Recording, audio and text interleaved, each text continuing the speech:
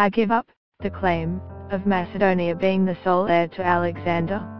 The history belongs not only to us, but also to Greece and many other countries. Zoran Zaev, in power since the spring, said in a TV interview late on Friday. Since its independence from Yugoslavia in 1991, Macedonia has claimed at least part of the heritage of the most famous ruler of the ancient kingdom of Macedonia, infuriating Greeks who also view the name Macedonia itself as hiding expansionist claims against the Greek region of Macedonia.